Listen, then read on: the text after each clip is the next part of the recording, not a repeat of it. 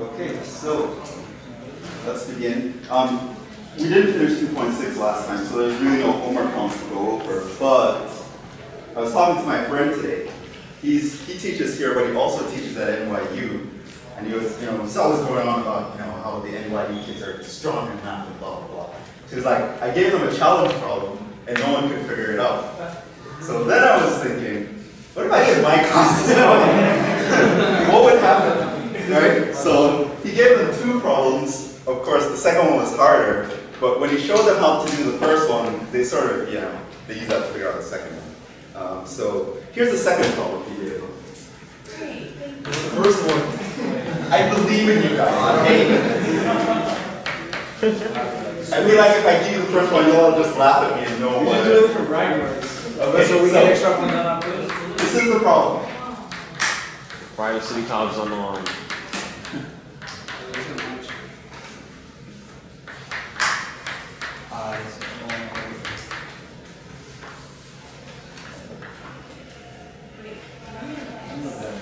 To actually do that limit was the problem. And those of you who saw L'Hôpital's rule before, it's illegal here. You have to do it using methods we've done in one. Okay, so um, take a minute to think about that while I see who's here. And, okay, Louis? Mohammed, Gerald's here. So we don't have any sine and cosine on that. No, that's, the- do that limit, um, however you can. Eduardo? Yep, yes. And these here, is here.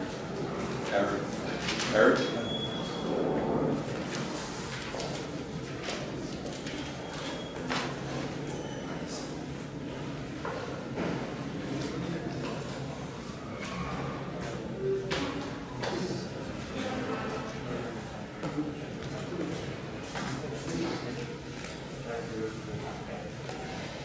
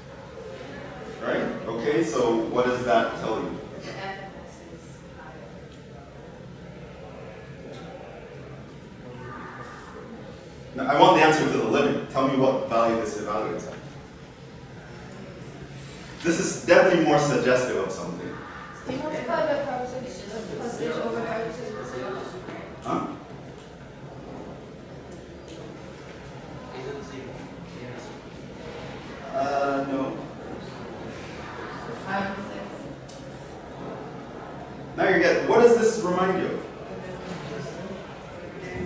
Huh? It reminds you of a derivative, exactly. This is, the, this would be the equivalent of f prime of what number? Pi over 6. Okay, so if we can figure out what the f of x is, all we have to do, find the derivative and plug in pi over 6, and it will be equivalent to computing this limit. Um, what do you think the function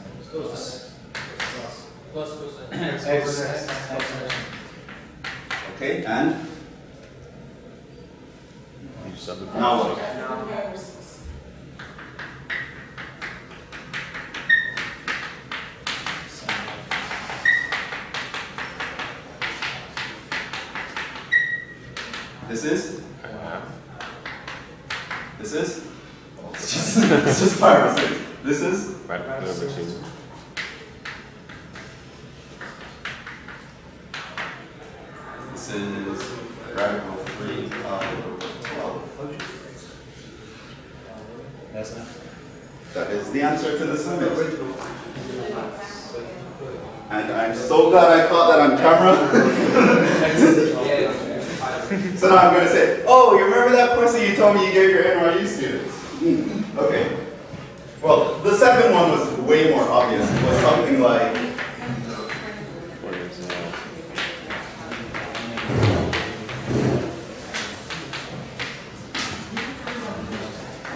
right, that one you can sort of see, it's just f of something. And so, the, you know, that was the first one. They couldn't figure it out apparently, and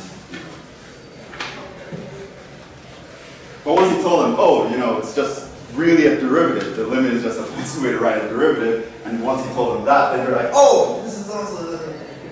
Okay. All right, good. See, I believed in you guys, and I was vindicated, and I'm so happy. Now I have something to throw back in. So today, you know, inside the lives of um, math professors. You know, a lot of students think that, you know, math professors design tests to make people fail, but really that's not what happened. You know, behind your backs, what we're really doing is we're bragging about you. We want you guys to do well so we can brag about you. So we can say, oh yeah, your class didn't figure that out, my class figured that out. You know? Say my class got better grades. Hmm? You put easier questions. No, because then that doesn't, that's not something to brag about. It's not like, oh yeah, my class is better. Well, you can just say your test was easier. Of course you did better. Yeah. Let's see this. Okay, so last time we started um, implicit differentiation. We're going to finish it up today. Then we're going to move on to related rates, which I have a handout here that I'm going to give out because it's a lot of word problems and I can't bother writing down all the word problems. So we're going to go in, finish up differentiation.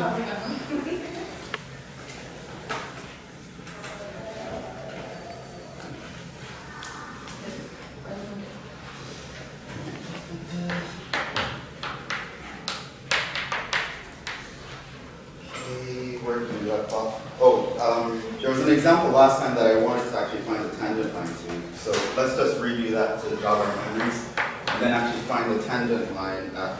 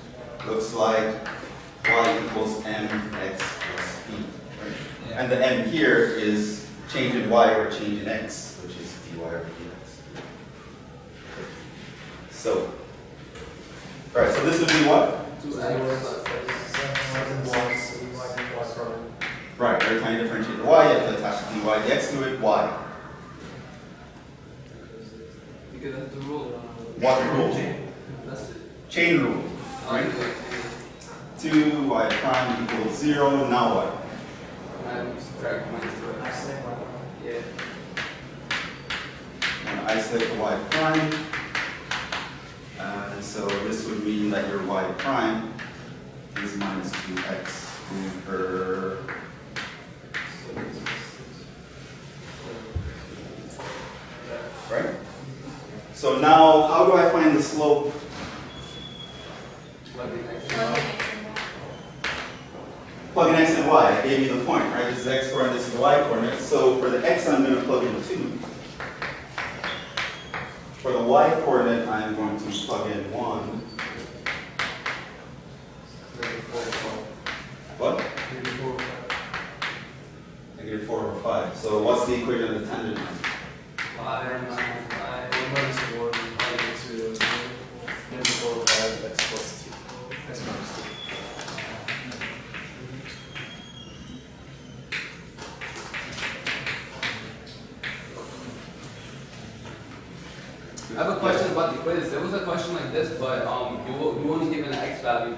Never given a y value. Right? Can you still find the slope for that? The slope of that? Uh, hold on, let me see if that. I mean, I didn't know. do it. I didn't do it. Yeah, but and then I put and I got the slope. No, plug in like the. Yeah, in general, what you do, if I only gave you the x value, what you do is you plug in the x value and then Oh. solve for the y value. Right. So. I, Okay. So, um,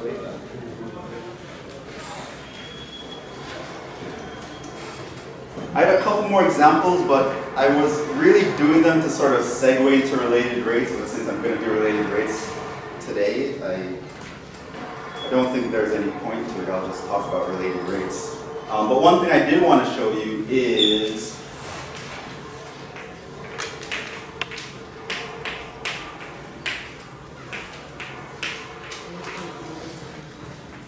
I showed you the proof of the power rule, right? For if if if n is an integer, right? Um, specifically, a positive integer, right? And we apply the binomial theorem to get to that answer, right? What I want to show you today, using implicit differentiation,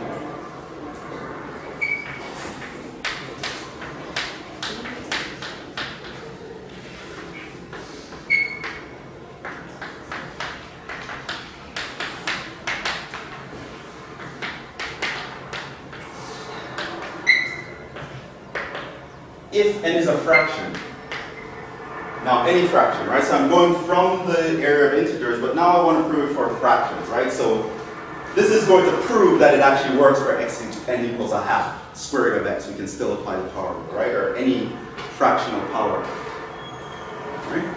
And how we do this is we'd actually do implicit differentiation. So take y equals x to the n. We know that that means y equals x to the p over q. I'll give you guys a first hint. We can raise both sides to the power q to obtain this. If I wanted to find the derivative, how would I get to it?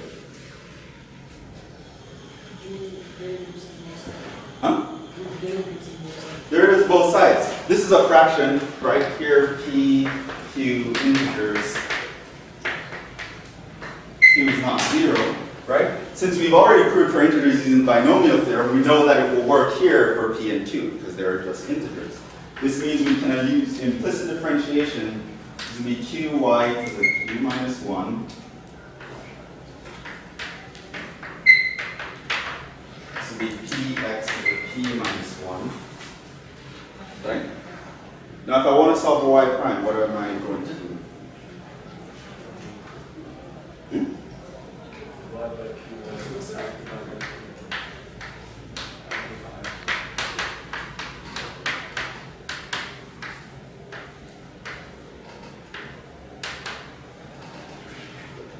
All right, what does that look like? How can I sort of simplify this to get to look like what I want?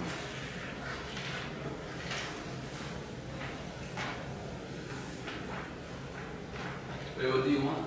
I want to prove the power rule. I want to prove that this is the answer.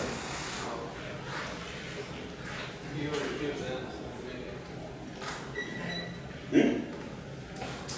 P over 2 is already the n, yes, so I can replace this with n, right? Okay, then what?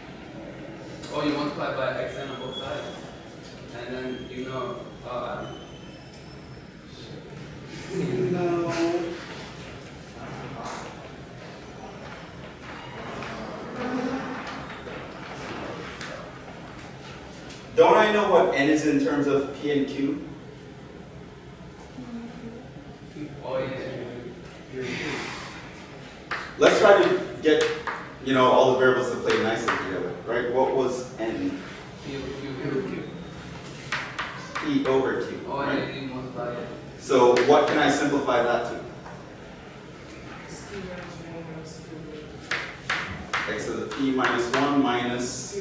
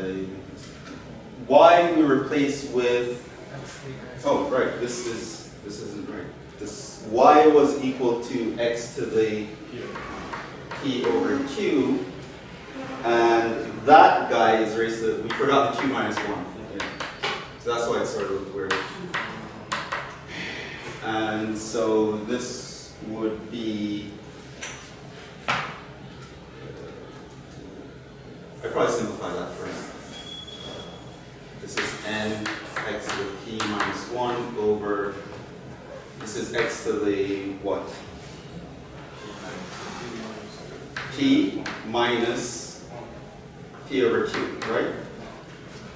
So this would be n x to the p minus 1 minus p minus p over q. This is n x to the p minus p, those would kill each other, right? Minus a minus p over q is just positive p over q. And there's this minus 1 left, but I know p over q is actually equal to n. Right? So we can actually prove the power rule now, not just for integers, but for even fractions. So now you can be confident that when you say have x to the half, like a square root, you can actually use the power rule on it because we can use implicit differentiation to prove that this is true. To prove the power rule in general, like it works for any real number, like it would even work if I put pi here, for example, you would sort of need logarithms and exponentials, you won't see till calc 2, so I guess you just have to believe me till then. Oh.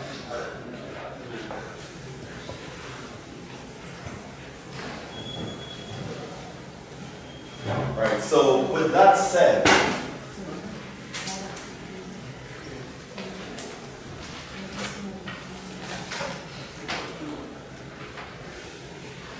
I was really going to segue into related rates, but I think we'll just jump into related rates. So their last class especially, I was really emphasizing that y prime was dy dx, dy dx. And there was a good reason for this because sometimes your independent variable is something other than x. For example, in the quiz, I actually got to find dx dy. That wasn't a typo, I did that on purpose.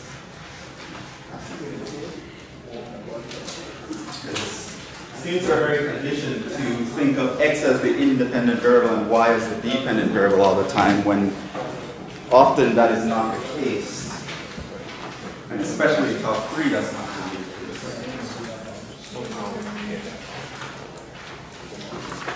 And in particular in related rates, it's not the case.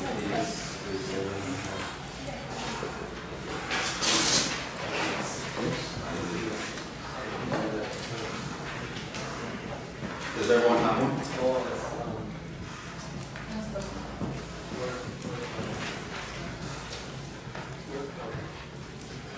Yes, this is actually for 2.7. So we finished 2.6, everything I wanted to do. We did enough examples. And, you know, the first problem we did has me convinced that you guys understand overall. So we're just going to move on.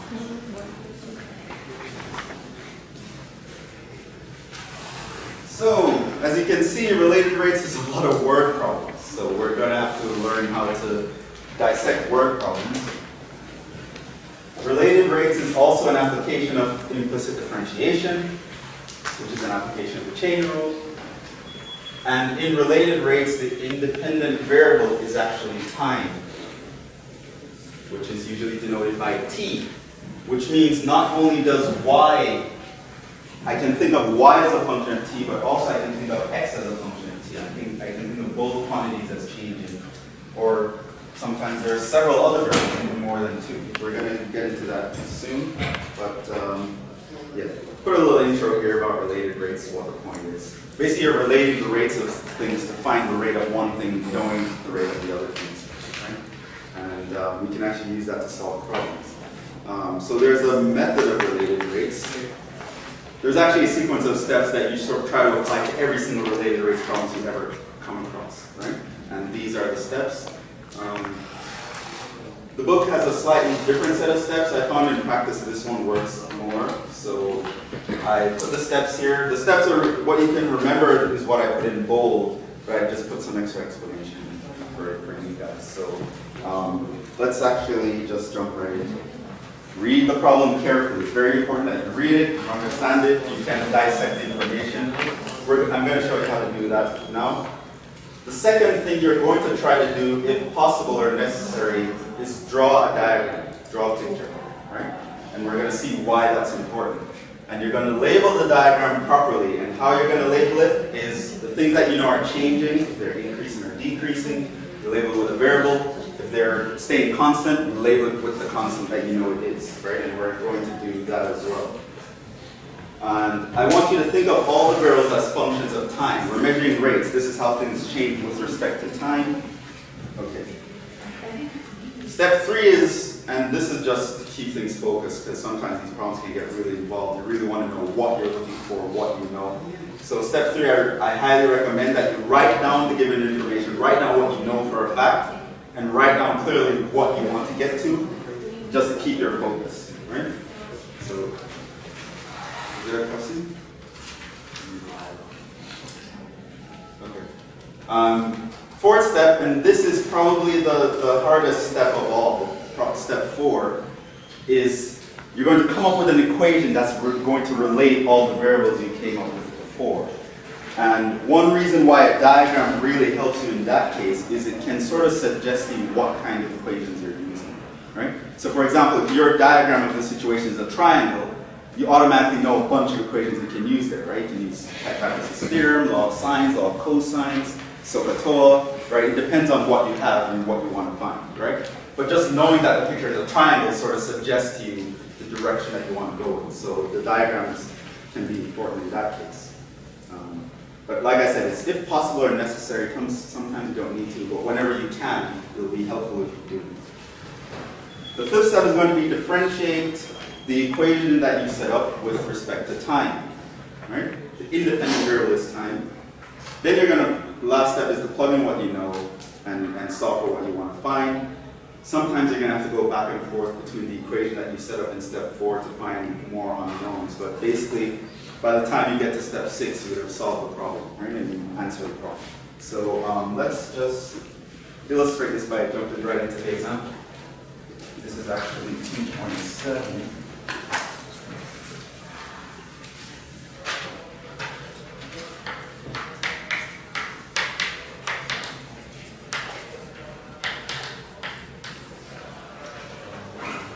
Problem one on the handout. A right circular cylinder undergoes expansion. Its radius is increasing at a rate of 1 meter per second, while its height is increasing at a rate of 2 meters per second. At what rate is its volume changing when the radius is 1 meter in length and the height is 3 meters in length? Okay, so read the problem carefully. What's the next thing I'm going to try to do? Draw a diagram. Maybe draw a picture, okay, sure. So I draw a right circular cylinder. And that evokes all sorts of memories now, because I'm back in like high school geometry. What do you know? Well, I know I can label this with the radius. Let, let me call the radius r. And the height of this thing is h. So the height I'm going to call h. So I label things that are changing with variables, right? I know the radius is changing and the height is changing, so I use variables to represent? Another quantity that's mentioned in the problem is the volume, right? You see the rate of which the volume is changing is block, right?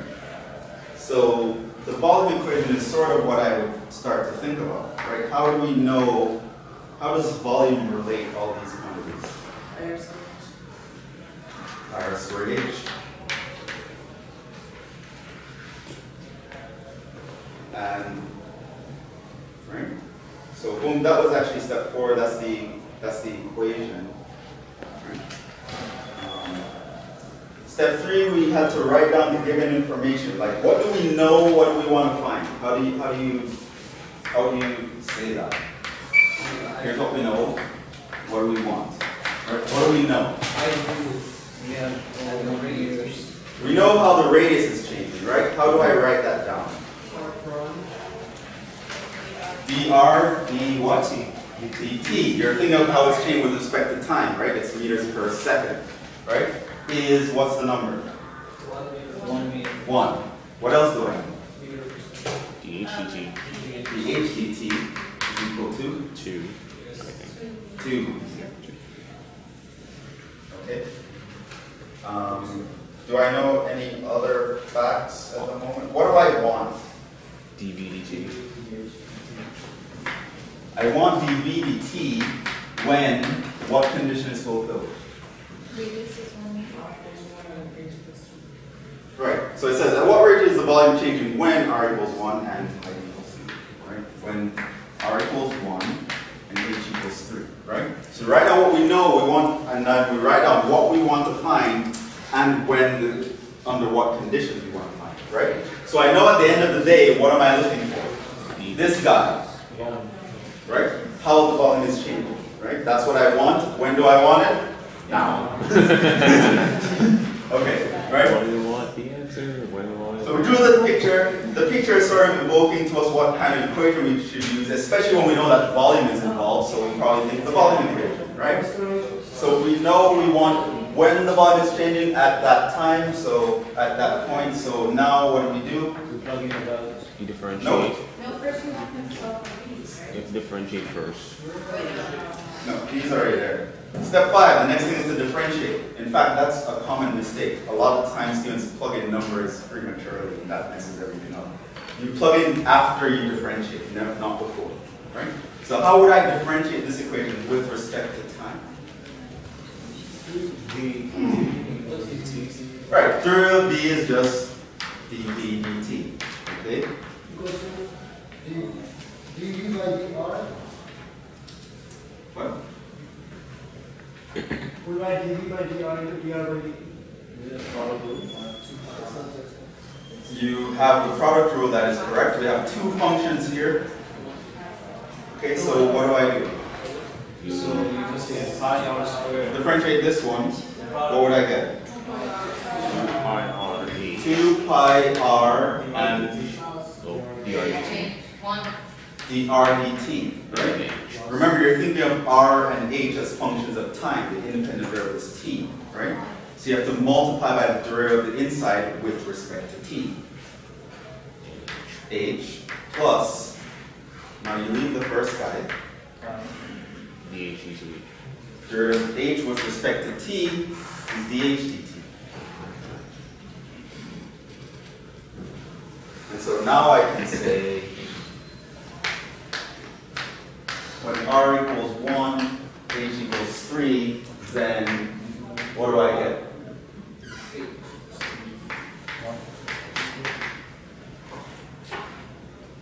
dv dt equals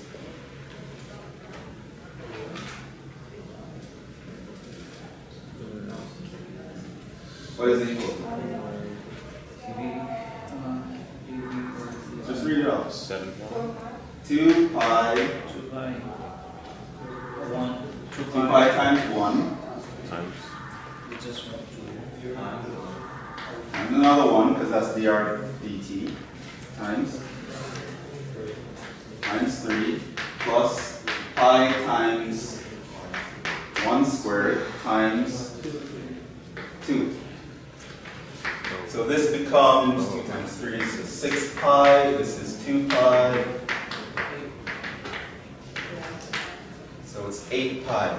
And if you're in physics class, we really care about the units, but in, I'll, I'll let it slide for now. what shouldn't it be meters cubed, she's talking about volume?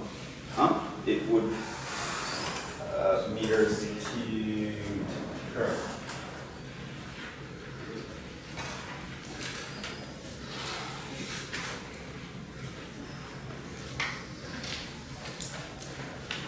So again, the steps are, you read the problem carefully, you start to dissect the information. Step two, draw a diagram. Step three, write out what we know, what we want to find. Step four, come up with an equation that relates the two. The picture a lot of times evokes what that equation should be. Step five, differentiate the, that equation you came up with with respect to time. So every time you take the derivative of a variable that's not a t, you have to attach the derivative to it, right? Because by, by the chain, right? Once you do that, now you can plug in what you know and solve for what you want to find. In this case, we wanted to find dt, right? Now, the problems can get more complicated. Let's do one that's slightly more complicated, problem two. Particle is moving along a curve y equals x cubed plus 1, such that its y coordinate is increasing at a rate of 2 units per second. At what rate is the x coordinate changing when y equals 9? This is part A. Um, I don't really think there's much point in drawing a diagram here, but I will. Okay. So there's some particle moving along this side, right? The y coordinate is increasing at a rate of 2 units per second, right? Can you figure out what direction this particle will move in, given that information? It's, it's going down here, right?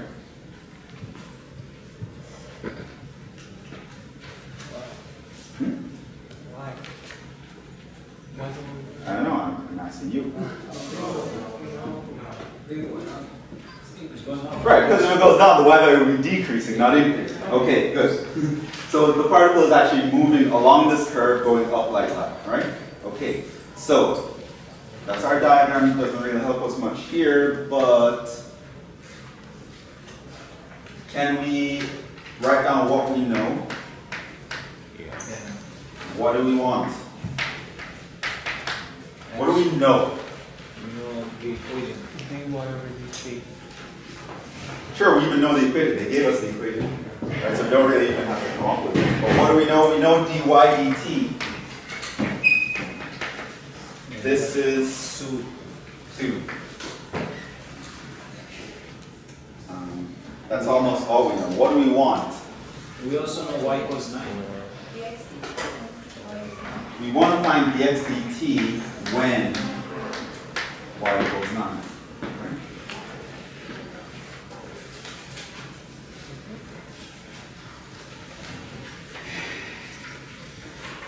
How do I figure that out?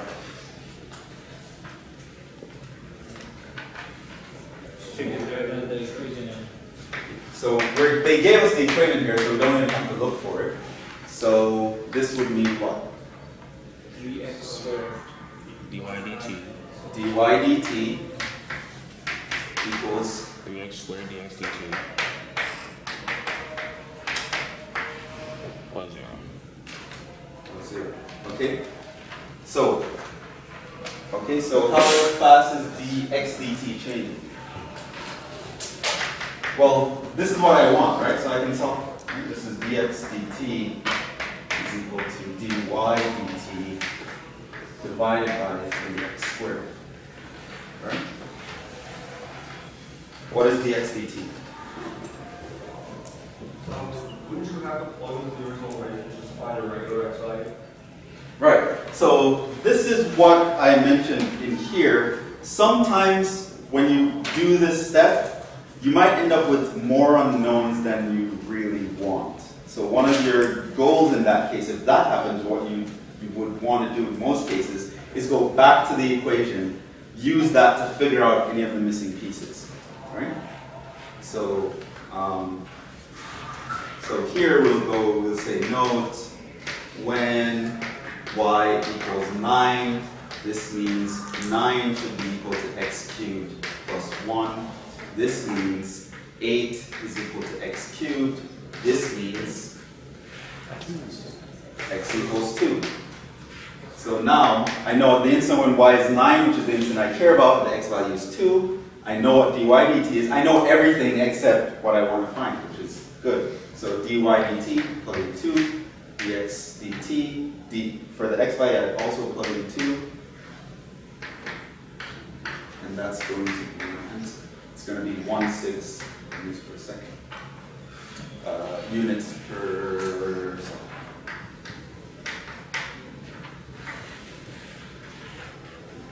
So notice this is saying as my y value is moving up, the x value is moving to the right, right? And at that instant, it is moving at that rate. What about part B? Let's see who's really thinking now. Do you need a distance formula for this? We need a distance formula. So here's the picture. So the question asks, at this instant, how fast is the distance between the particle and the point 2 comma 10 changing? Is the part, particle approaching 2 comma 10 or getting farther away from this point? So here this is 1. I know when x is 2, y is 8. So 2 comma 10 would be this point here. I want to know how fast is the distance from that point changing when y equals 9, which would be some point here at the same instant, right? So the distance is just going to be the distance here, d. Right? Can anyone tell me the equation? Well, you already gave it away, it's the distance formula, right? How would I do the distance formula?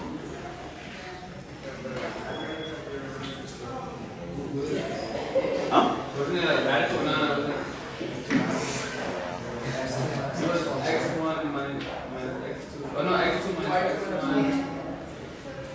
Oh Okay, what are the x1 and y1s in that circle?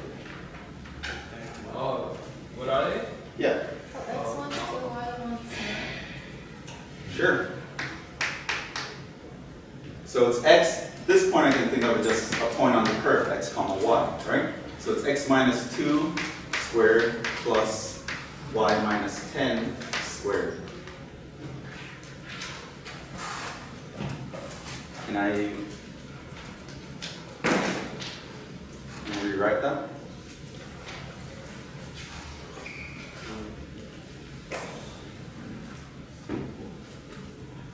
Wait, What?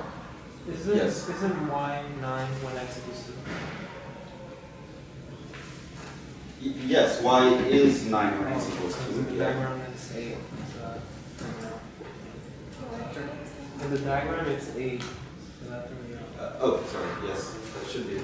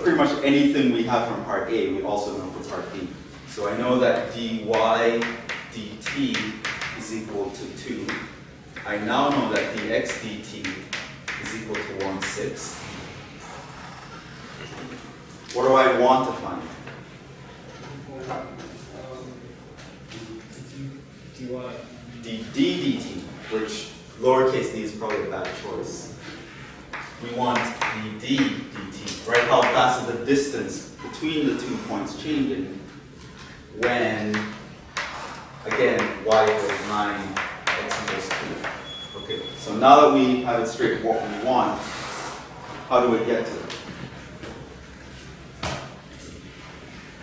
Differentiate it. Differentiate with respect to 9.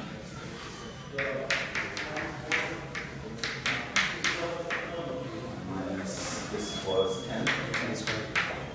How do I differentiate that guy? half. The whole thing.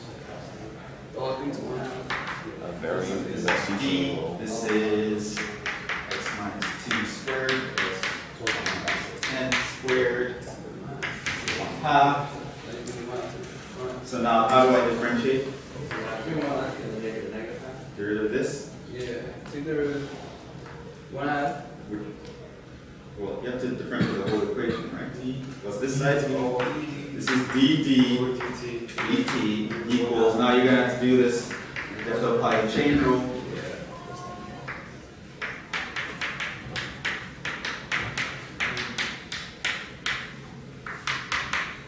have to multiply the derivative of the inside. Now what's the derivative of the inside?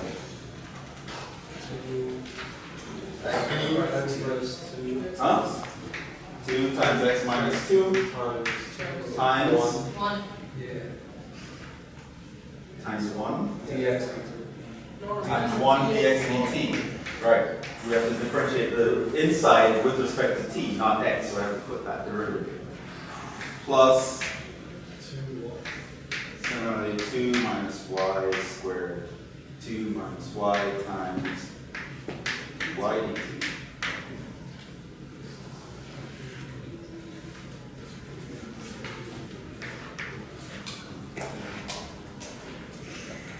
So at this point, I actually know everything, right? I know what x is, I know what y is, I know what dx dt is, I know what dy dt is. I know everything I need to find the rate of change of the distance. I'm just going to plug them in. X value is what? 2. So these will all give me 0 here. So I don't even have to worry about those. The y value is 9, right? So this here, I'm going to put a 9 here. 9 minus 10 is minus 1, minus 1 squared, positive 1, and then, so I just have 1 to the minus 1. Wait, why did you take out X minus two? Because the x value is 2, so if I say x minus 2, it's just 0. Right? So these will both give me 0. Plug in y equals 9, I actually just get 1. Then here, now I have 2 times minus 1 times, what was dy dt? 2. Right? So here the 2 can cancel for this one. And so what is the answer? Negative two. 2. No, it's negative. Remember, this is a minus 1. So this 2 is Okay, answer the last last couple questions.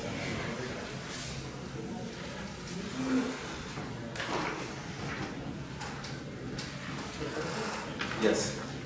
Um, two x minus two, zero. Yes, this whole thing is 0. Yeah. This comes from here. Uh, 2 times minus 1 times 2. Yeah, this, these two are here. So, Wait, I don't get why, um, you did y minus ten. I don't get where you got the point two thing. Within the bond. this is distance formula. It's not those. We'll follow up the points in half. We know the distance formula between x1 and x2 is the radical of x2 minus x1 squared plus y2 minus y1 squared. This is the distance between x1, y1 and x2, y2. Right? So here I just took x2, y, this I took to be the point x2, y2. And this I took to be the point x1, y1. And I just plug into that formula. And I end up with this. So the, the, the y1 is 10, so I put 10 here, x1 is 2, put 2 here, x2 get where you is x. ten from. In the bond. It's given, it was given in the problem. In part B, it says, look at the point 2 comma 10, right? Yeah, so that was given.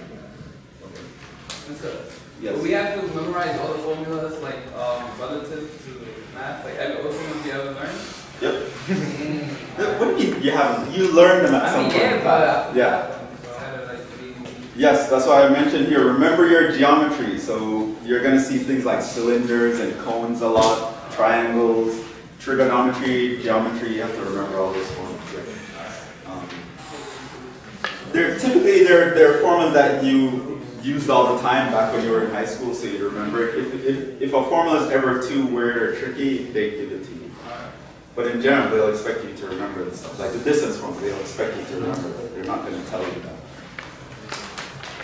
Um, is the particle approaching 2 comma 10 or getting farther away from it? I think it's getting farther, What's your reason? Because it's negative, negative going down, What does negative mean?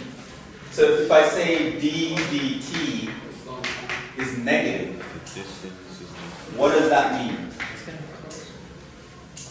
If I look at d as a function, what does it mean when the derivative is negative?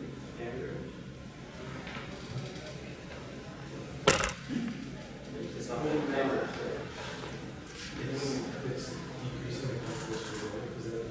decreasing, right? And we're going to talk more about this later, but What's the difference between, This means decreasing. So if your d is decreasing, the distance between the two points is decreasing, what does that mean? oh, I think close You're getting closer to the point.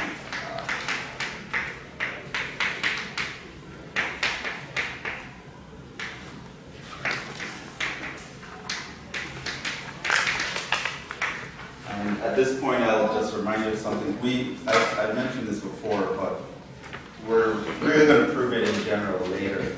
Um, so slope negative means decreasing. Slope positive means something is increasing, right? And we basically, intuitively, we know this from the tangent line argument, right? When the slope of a straight line is positive, you know it keeps getting bigger and bigger, right? If the slope is negative, it keeps getting smaller and smaller. So we can sort of equivalent, e- equivalent, equate slope with being able to increase or decrease. And we're going to explore this idea a lot later on, but for now, knowing that is good enough. So just knowing that a rate is negative actually tells you something. You know, if, if it's positive, that tells you something too. Yes? What does D represent? Which, which one? The big D represents the distance. So if distance is decreasing, how does that mean you're approaching? The distance between these two things Well, like in is... physics, if it's negative and if it's decreasing, it's going away, right? No. D is representing the distance between two points. If the distance between the points is decreasing, what does that mean? They're getting closer, right? The distance has to increase for them to get farther away. Don't don't think of the graph, think of the distance between these two points, right? If that's getting smaller, they But actually but it already went to negative two. What? It already went to negative two. What about negative? Let's say it's getting like negative four, or negative five, negative six. Is it still coming closer? Yes, this is just saying, when you, when you say negative two meters per second, that's sort of saying it's getting two units closer every second at that instant. right? It can change according to the function because it's not straight.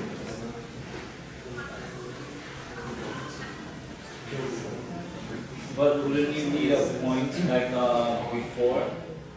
Like let's say, don't you have to say what was the point before? The point before. Yeah, before. To compare that, it's getting closer. Uh, no, I just know that this point is moving, right? Yeah. And then I know that when I'm right here, at that instance, how's the distance between this changing? What's happening? At that instant, it's getting closer to this by two units per second. Now, once if this point moves, that might actually change, right? Eventually, you'll notice if I get far enough away, soon the distance will start increasing, right? If I pick a different point, it- I'll start getting positive numbers, right? So at this instant, I'm getting closer, but that won't always be the case. right? For now, I only care about at this point.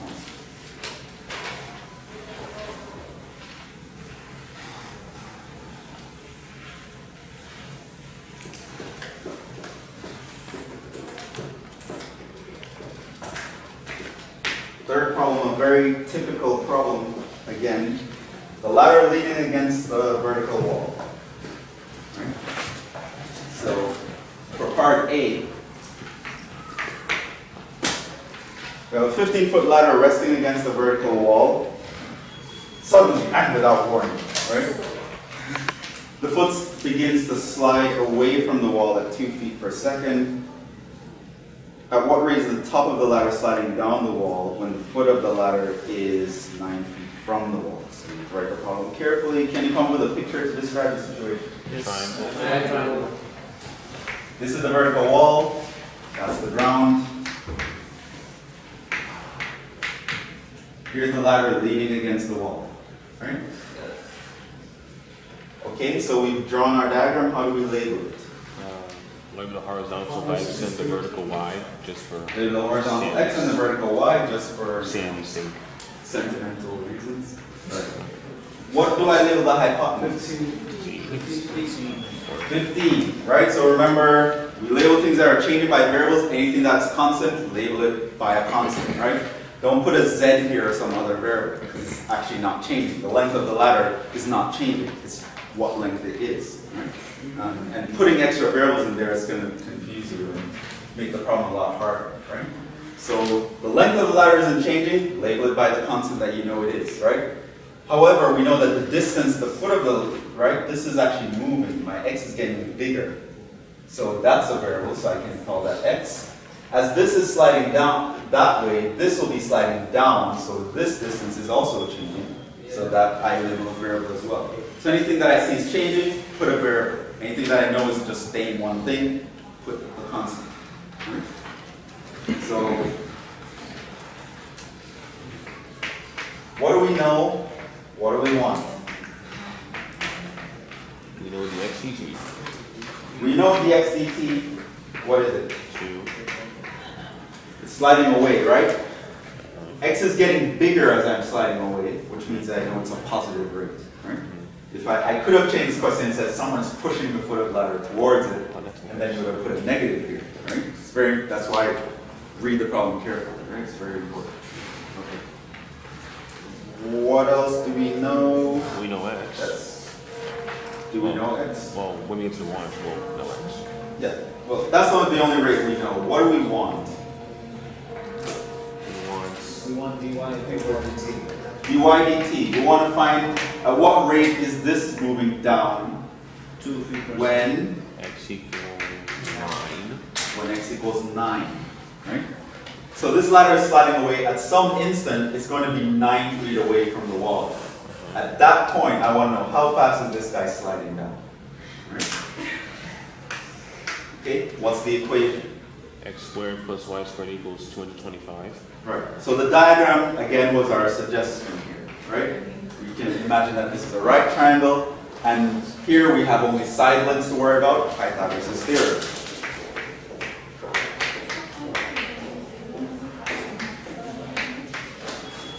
I know that x squared plus y squared equals 15 squared.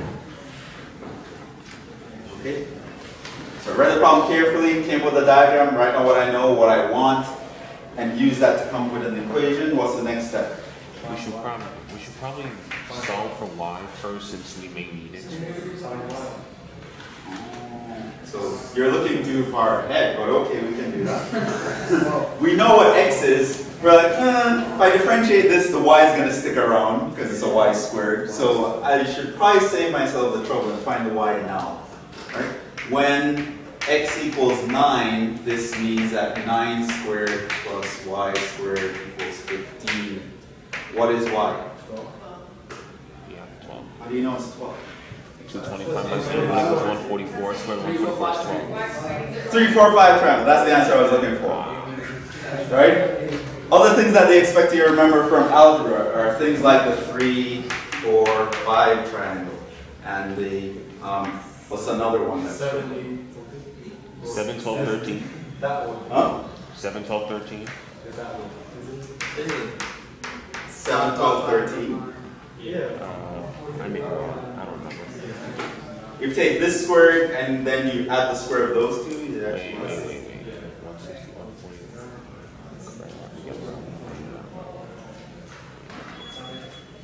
Five, twelve, thirteen. I'm sorry. Five, twelve, thirteen.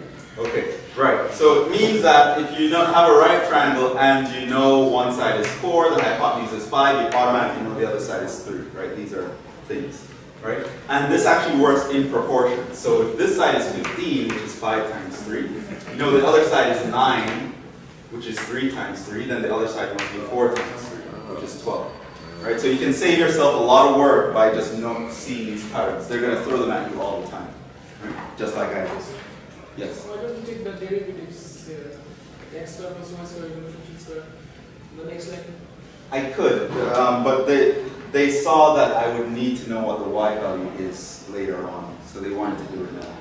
But yeah, strictly following these steps, I would have done the derivatives. But they decided to take a pit stop. So this means that y is 12.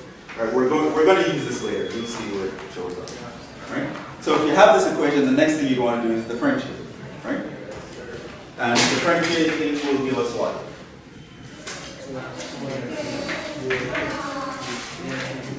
the dt. Remember, t is the independent variable in related rates, so even when you differentiate the x, you have to attach this derivative.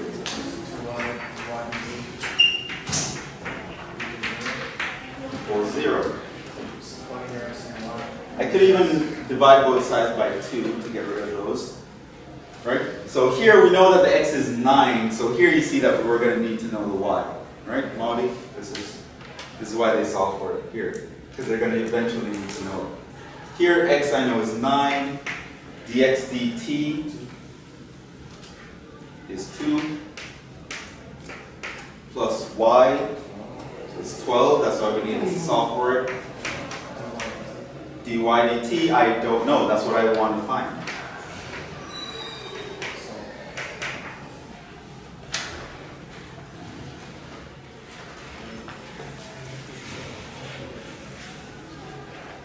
So now I can just solve for dy dt.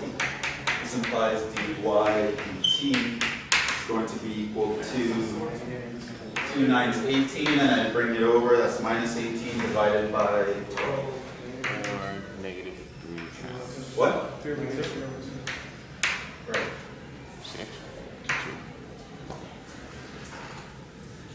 And it could be uh, feet per second. feet per second. So that's how fast this thing is decreasing at that instant.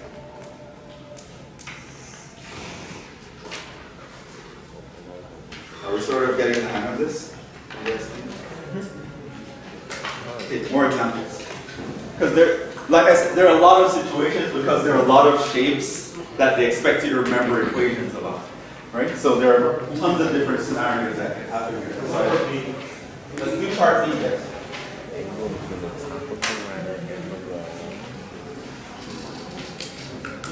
Now we're in part B. It says, at what rate is the angle between the top of the ladder and the wall changing at the same instant? Is the angle increasing or decreasing? This is our diagram. We know this is x, this is y, we know this is 15, but now we have a third variable in play. Where is that variable? Between the wall and the top. Here, right? Problem mentioned the angle between the ladder and the wall. So now there is a theta. Right? At this point, what do we know? What do we want? I know dy dt. I also know dx dt. dy dt was what? Minus 0, 2. x dx dt was? 2. 2. Alright, what do I actually want in this? We want the, the, uh, the detail that will be We want to know how the angle is changing. When? when the At the same instant. So how can we describe that instant?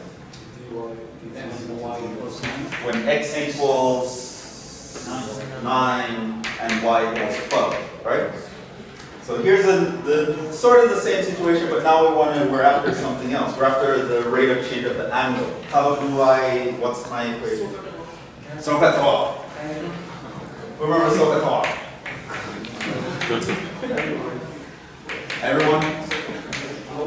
What does it stand for? Sine So sine and the hypotenuse. Okay, so compare with respect to theta, who is the opposite side? X. X. The adjacent side is?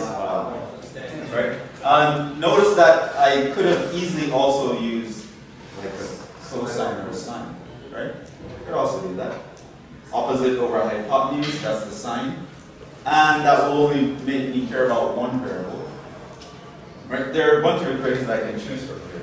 I can say tangent theta is equal to x over y, or I can say sine theta equals x over 15, or I can say cosine theta equals y over 15. And you'd all get, you get to the same answer in all these cases, eventually. Um, which case would you choose? How would you sign? Because they're given, because it's like right. Because it's like right there, that's why you choose sine. If it's given to this, if it's given, then you, if you made a mistake in the part A, then you don't have to worry about it. Yep. You can use the sine or cosine. I did. Personally, I would have chosen the cosine. How would you sign? No, the, the sine, because the derivative is like a whole number, right? The derivative of the other one was a fraction.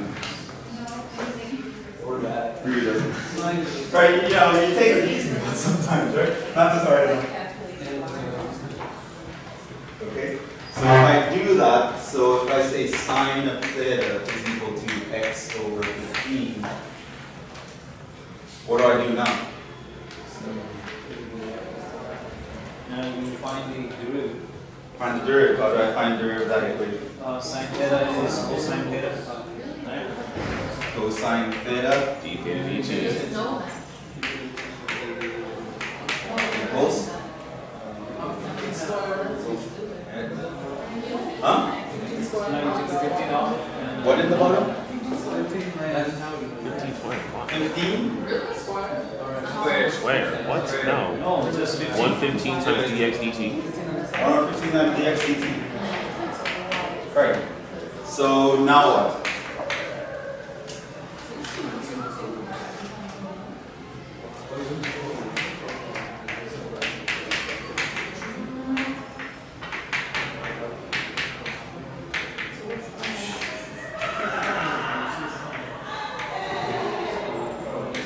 dx dt was 2. How do I figure out what cosine theta is? Diagram. Diagram. Huh? Use a diagram. Oh, oh. You What? can use the diagram.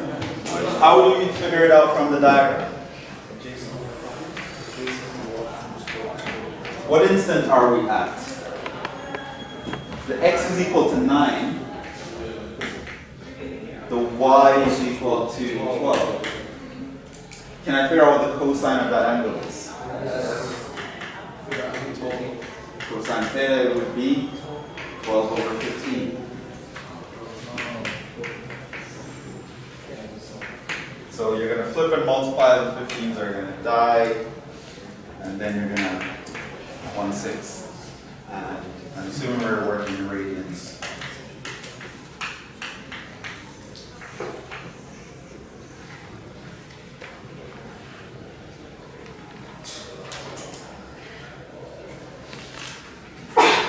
Is the angle, Can what? we, can we just leave it at one oh six? Like that? No, no, no units? Yeah, I, I don't really care about that. Alright. I mean, in physics class, they're super yeah, important, yeah, but here, uh, I don't care much. Is the angle increasing or decreasing? Increasing. Yeah. Yeah, you can even see my line, right? This is getting wider, this is. I'm trying to follow. Just say it's- Right, so things like that really helps you to know if your answers make sense. Like looking at the picture, you can sort of see, oh, it's supposed to be increasing. If you got a negative answer here, you know, oh, wait, something, something went wrong. So angle is increasing.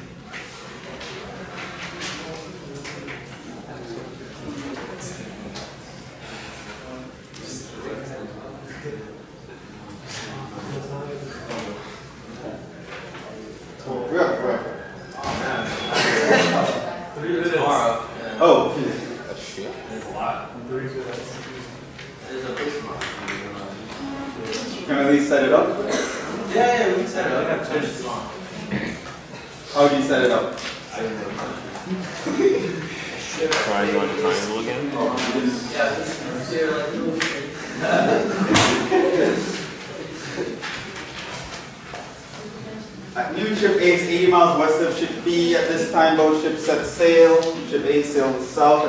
20 miles per hour. Ship B sails north at a speed of 10 miles per hour.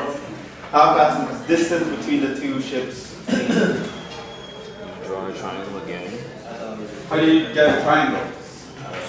One's, one's going Here's west, one's A, going north. this is B, right? They're 80 miles away. Oh, wait a minute.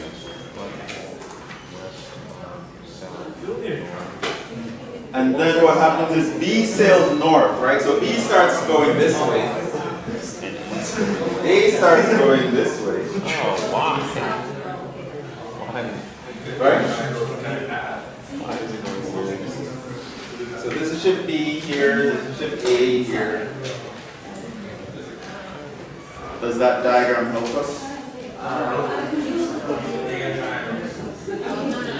How are you gonna make it a triangle?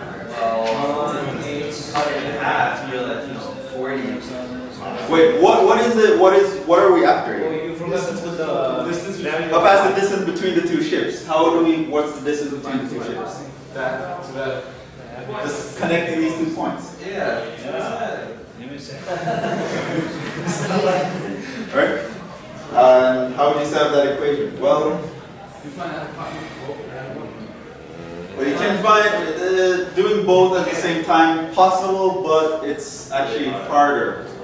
The trick with this is usually to like complete an imaginary triangle, right? So you fix the diagram to be suggestive of something. So let's say I'm, this is changing, right? So I'm going to call this distance something. This is also changing, call that distance something.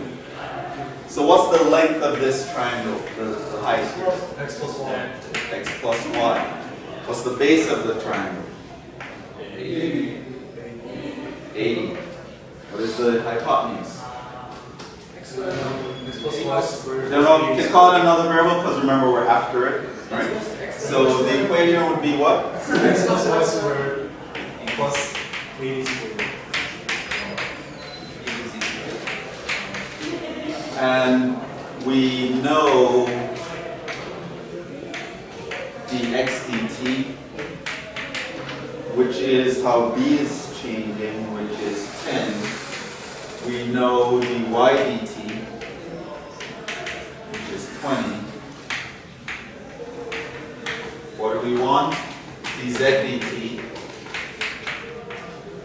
when what would x be and what would y be?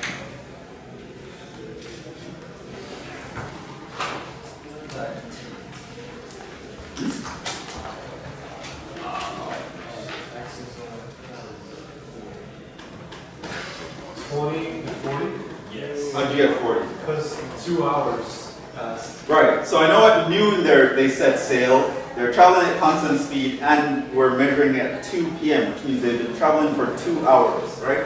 So if x is increasing at 10 every hour, right, This is twenty. So two hours. x is going to be 20. This one's going to be 40. Right, so really the triangle is going to look like a 60, an 80, and at this, what would this be at that point?